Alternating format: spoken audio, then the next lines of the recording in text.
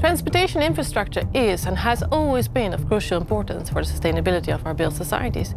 Uh, the text is gone again. No? Yeah, it's no, gone.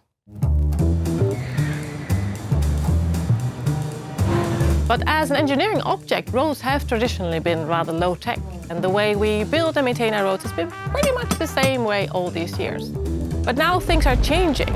Climate change is forcing us to actually rethink about what materials we're going to be using for our roads and from how far we actually can be transporting our materials. Possibilities with automation and digitization enable us to couple design decisions today to consequence 20, 30 years from now.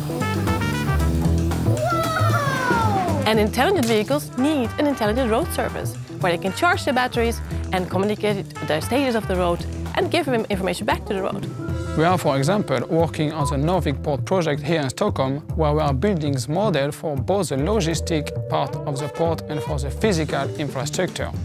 Connecting this together means the operators can make choices about how they want to use the port and understand what are the consequences for the degradation of the pavement.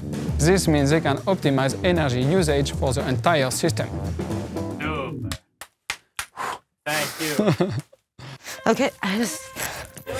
Can the road send out a signal to the vehicle that by driving two centimeters to the left, damage will be avoided? Turn left, turn left. Doing that systematically, you will not only end up with the benefits on the vehicle side, but also the system as a whole. What type of sensors do we need? How should we embed them? And what network do we need to get this data? How should the cars receive this? And how can we calculate the sustainability of the whole system?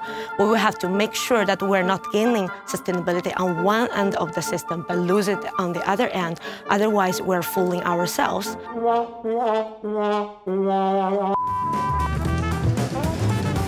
At KTH, we build models that include all of these perspectives and have different stakeholders involved, so we can look at the entire transportation infrastructure system as a whole, which includes sufficient complexity so we can make right decisions.